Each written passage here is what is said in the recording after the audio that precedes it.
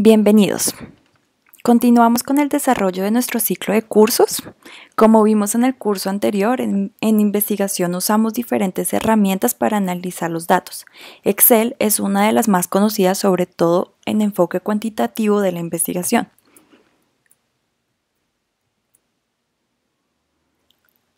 A diferencia de Excel, herramientas informáticas como AltraST se ocupan de facilitar el trabajo de análisis con datos cualitativos. Durante esta semana nos ocuparemos de conocer de manera exploratoria las principales utilidades de este software, cada vez más usados por los investigadores alrededor de todo el mundo. Los aspectos a desarrollar durante el curso son los siguientes. La duración son de 10 horas y el objetivo principal es introducir a la comunidad investigativa de la SAP el software AltraST como apoyo a los procesos de investigación, en especial en la etapa de análisis de los datos cualitativos. Tres objetivos de aprendizaje claves. Primero, conocer la interfaz principal de AltraST para su, para su manejo y exploración. El segundo, comprender la configuración del software. El tercero es utilizar las funcionalidades de análisis de AtlasT hasta llegar hasta las redes semánticas. Todo esto es para identificar, la potencialidad del trabajo de redes que suministra AltraST como referente para la fase de análisis de proyectos de la investigación que llevan en curso. Pero antes de eso, tenemos que abarcar el tema de qué es análisis cualitativo. Y para ello decimos que la investigación cualitativa busca comprender un entorno determinado de estudio, explora los significados que pueden esconderse detrás de las actitudes, de las creencias, las culturas, entre otras actividades o características que hacen parte del quehacer humano.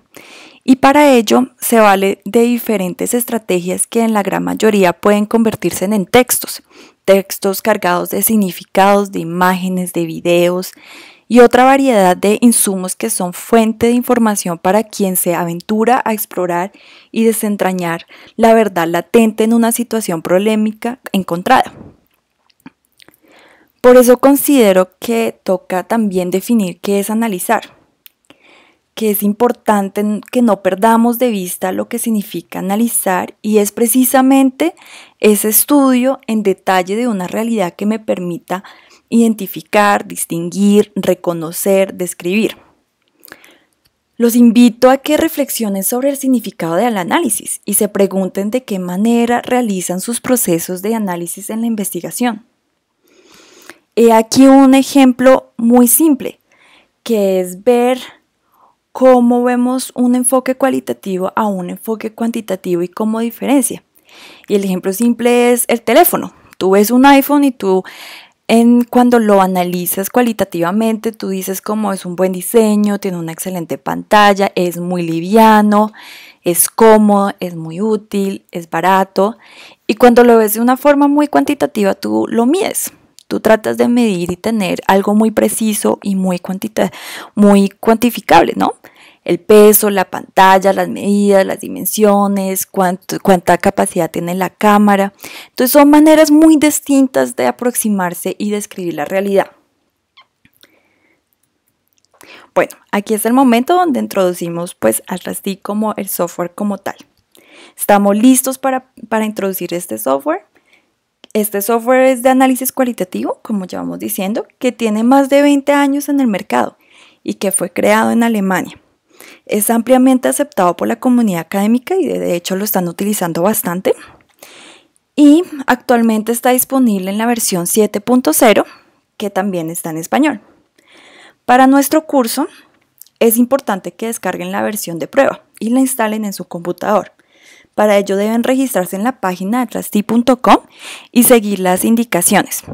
También hicimos un texto de apoyo donde da el paso a paso para descargar y qué requisitos necesitan para mm, instalar este software. Al realizar la descarga se darán cuenta de lo fácil que es hacer a la prueba como tal. Es importante conservar el número de referencia al cual llegará su correo electrónico, ya que cada vez que quiera acceder al, software deberá activar su versión de prueba con dicho número. Bueno, ¿cómo hacemos el análisis de, datos cualitativos de manera manual?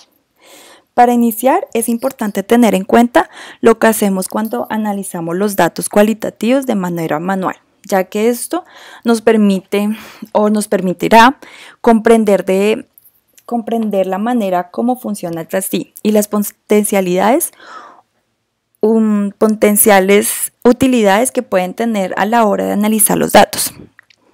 En este sentido, cuando trabajamos de manera manual, lo primero que hacemos es subrayar los datos de interés, ¿no? Este interés siempre estará vinculado a el nivel de conocimiento que el investigador ha alcanzado de su problema de estudio, ¿no? Seguidamente se realizan anotaciones sobre los conceptos. Aquí ya inicia el proceso de reflexión sobre los textos que encuentro y su significado en el contexto del trabajo investigativo.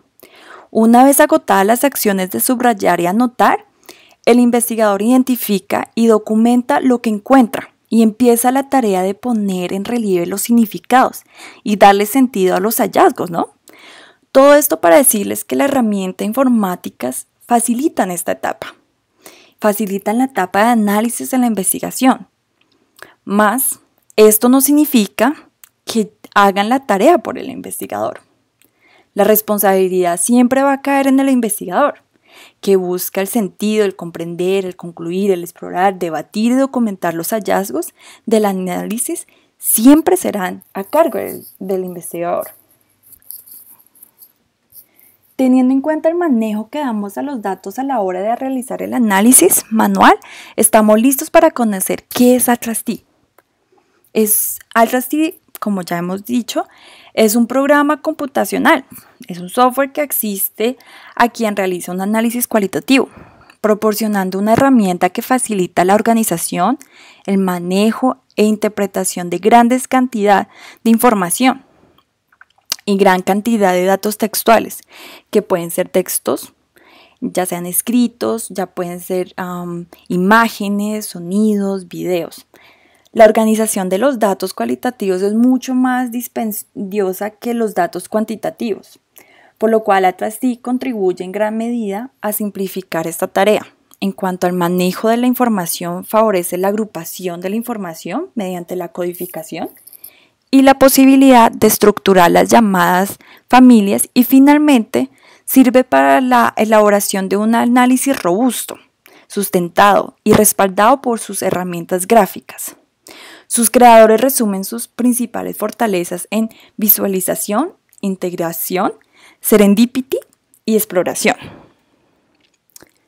Fortaleza del Trasti para los investigadores, como ya veníamos diciendo, acabamos de decir, visualización, integración, serendipity y exploración. Visualización se adapta a la forma en la que los humanos pensamos. Planeamos y encontramos soluciones de una manera sistemática y al mismo tiempo flexible y creativa. Aquí es donde Altrasti nos ayuda a que sean más visibles esas categorías, textos y relaciones que en papel no se identifican o que las perdemos en el transcurso de la investigación. El segundo es integración. Y es aquí donde Atrasti nos permite trabajar de manera inductiva o deductiva y nos da la libertad de, experimentar las diferentes categorías y jerarquías, ¿no? Y serendipity, pues serendipity es una palabra en inglés que se define como el don de hacer descubrimientos afortunados accidentalmente, ¿no?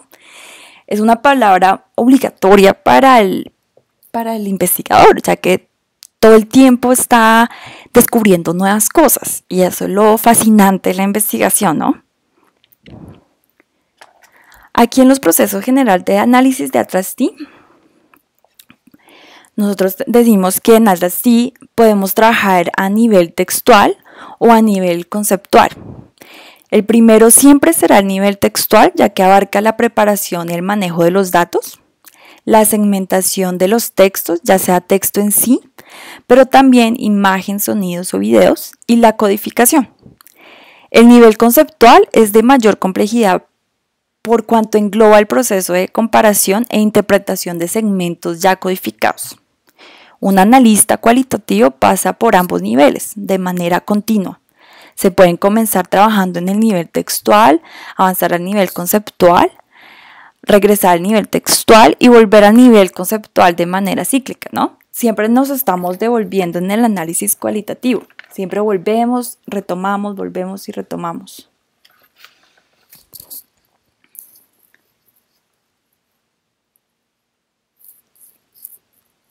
Aquí podemos observar los objetos de la unidad hermenéutica y esta es la unidad principal de Atlas-T. Aunque el siguiente video, donde el profesor Buen Hombre nos ilustra sobre el manejo instrumental del software y seguramente explicará los conceptos que encuentran en este gráfico, es muy importante compartirles qué significa cada uno de esos objetos. Recuerden entonces que la unidad hermenéutica es el archivo de Atlas-T es recomendable crear una única unidad hermenéutica por proyecto de investigación. Tengan presente en esta recomendación cada vez que vayan a crear un nuevo proyecto, ¿no? Al interior de esta unidad hermenéutica nos encontramos con lo siguiente. Los documentos primarios, los cuales ya hemos explicado cuando hablamos del proceso de análisis en Atlas T. Entonces son aquellos documentos principales, imágenes también, videos, etc. Cita, unidades básicas de investigación.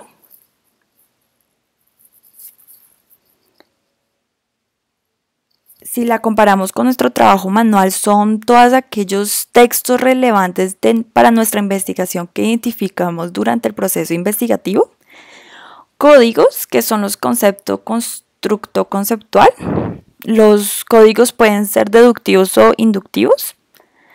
Memos, que encuentran sentido a los datos, nuestra reflexión personales.